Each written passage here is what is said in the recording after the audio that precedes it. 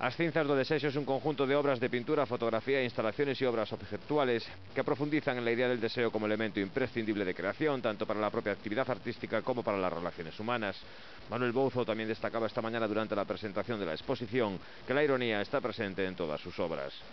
A mí siempre han dicho que hay una cosa que yo utilizo como bastante, que es como la ironía. Y, yo pienso que es un hecho como derivado de mi condición de gallego, es decir, que creo que es una cosa como muy gallega digamos, la retranca, la retranca es una especie de ironía. Bueno, es una ironía.